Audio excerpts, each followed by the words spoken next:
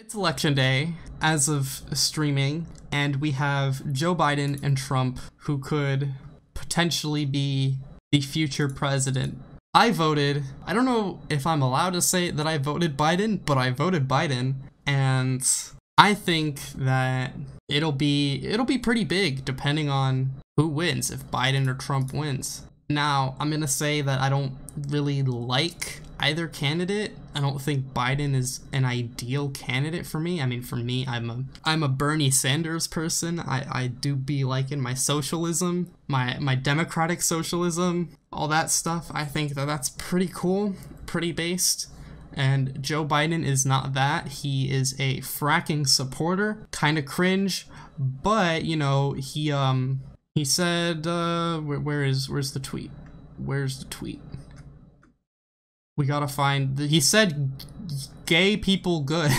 he said gay people good, and uh, that's pretty cool. Even if it's just virtue signaling, he he did he did say it. And I just wanted to look at like the two candidates' Twitter. You know, we got Trump talking about stuff. That's what we're doing. Now, when I said it, it sounded very easy. You got you got Trump talking, more Trump talking, lots of Trump talking, strength Optimism, determination. Hope, jobs. Okay, we got an ad. Another ad.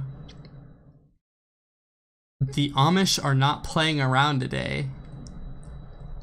I think the Amish are kind of dumb, but they, you know, you you guys do your culture.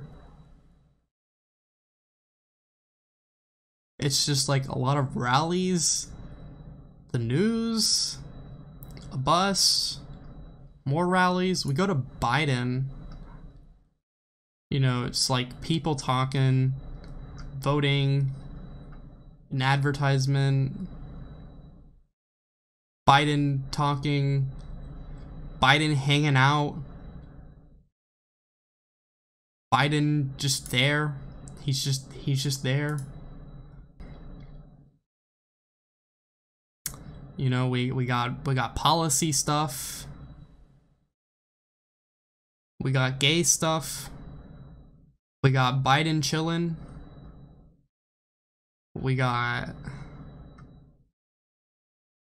I don't know. There there's just there's a little bit of a contrast I think between their twitters. We have this image, this glorious image. Hey, sorry to interrupt you, but you got to see that dumb tweet from Trump Jr.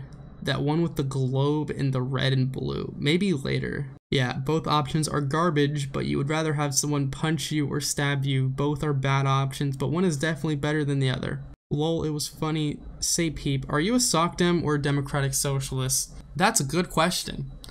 I like anarcho-communism, but I don't think that that is possible within my lifetime. Yes, rat dropped, rat dropped. This this glorious image of Biden exists. This this motivated me to vote for him.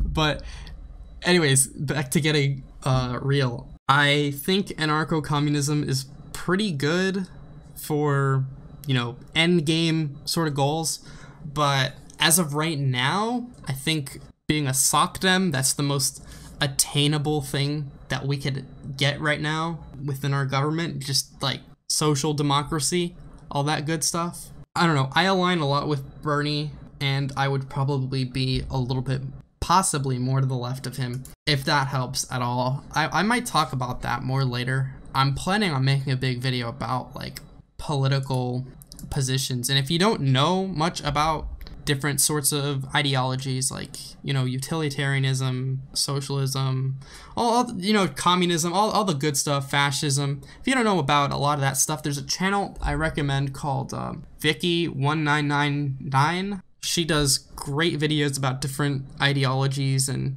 schools of thought and you know they're historical. They're pretty cool.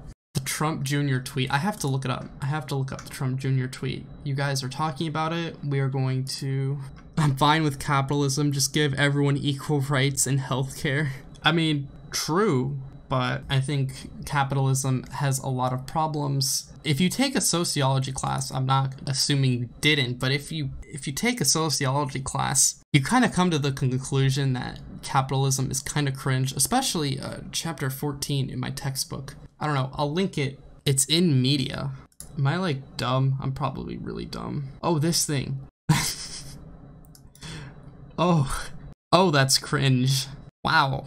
Yes, that is true. Every form of government has its own problems. There is no such thing as a perfect governmental system, but we can have preferences, and it's okay to have different preferences. Absolutely okay. I don't know. We got stuff. We got stuff. Anyways, I think that Biden is a lot better. Biden is kind of like the status quo. Capitalism be cringe. That is what I agree with. That is my position. My favorite conservative country, Antarctica. Love that. Biden had that whole meme with the the fly. That was so funny. Can I look it up? This this is so good. What else does Biden have? Biden had the um what else did Biden have that I really liked? The Animal Crossing the Animal Crossing island. I know this isn't policy, but Trump doesn't got this. Biden really got that Zoomer appeal, and I, I, I am here for it. Even if it doesn't actually really mean anything, I am here for this. I just I just think that Biden is just he's just an objectively better dude. We have the choice between pretty much fascism, a president who's saying that he wants another term like he made a tweet where it was like the third term, the fourth term, the fifth term and it just like kept going. Does Trump have his own Animal Crossing island? Exactly. Checkmate. Yeah, got him. Got him. Like Trump doesn't have an Animal Crossing island. They have the official Animal Crossing island and it is it is dope. The campaign is just cool. There's this image. There's this it, Trump Trump doesn't have an image like this. We got this. This is so good. Biden is also the malarkey squasher, the anti-malarkey man. It's just he's got he's just got more good qualities to him. In my opinion, I I think that he is that much better, and I really do hope that he wins. If Biden wins, he'll be like you know a status quo Democrat he probably won't really get much done, but he won't be actively destroying the country, kind of like how Trump has been. I mean, he really has not handled COVID well. We don't know, you know, there is no metric for success, as Vaush said, for how you can handle COVID. There's no metric for success, but we do know that he could have done so much more. It's very evident that he could have done so much more to make it a lot better. I know that Biden will actually do this, do stuff. Trump is just every day he's got to do scandal. It's just scandal after scandal. He can't get anything done. He's always on the news. He's always calling the news fake. He's he's just all over the place. He's not he's not organized. He he does not have leaderly qualities.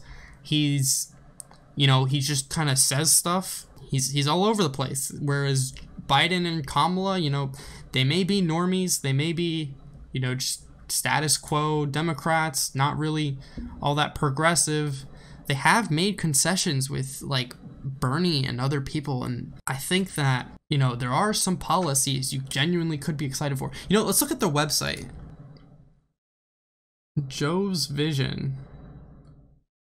I don't know, we got a lot of stuff here. Let's click on the Trump website. Can can this get off my screen, please?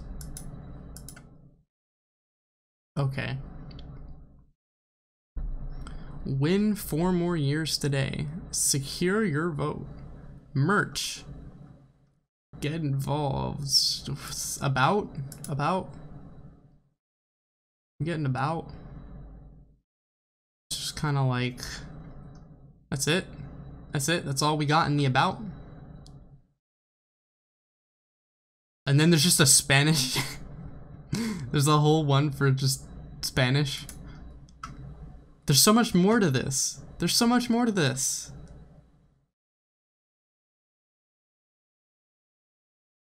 Notes from Joe.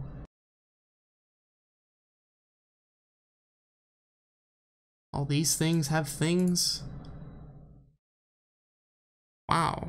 Trump also got a bunch of his own supporters to yeet out when he stopped being nice to the LGBT. Yeah, uh, that, that sounds about right. I mean, his trans military ban is really cringe. I had a friend, I had a friend, I mean, I still, I still talk to this person, they're still my friend, and I love this person. Anyways, she had a bad take where she said, I agree with the Trump military ban because trans people are more likely to have mental problems which make them unfit for the military. And while that may be true, trans people do typically have more mental health issues such as depression, anxiety, stuff like that. Not all of them do. The key word in that statement is often. They often have these uh, problems. Not all of them do. And so making a blanket ban to where all of them are excluded, that takes away from the trans people who are perfectly able and willing and dedicated to serving in the military. Just takes away from all of them. So that's really cringe. I did not want to vote Bolsonaro at the time, but I didn't know he was super LGBT phobic and didn't know myself at the time. I am not sure who that candidate is. You can't. you can come back from the military with just as many mental health issues, sometimes more. Very true. Who is Bolsonaro? I will look that up. Brazil. You're from Brazil. Whoa. Okay, so it's a it's a Brazil. I don't know Bolso. I'm sorry. I'm not familiar with Brazilian Brazilian politics, world policy, foreign policy in general. I'm really not that knowledgeable about. So I don't know. Chat can teach me. I think the segment's done. I think I'm done with the segment.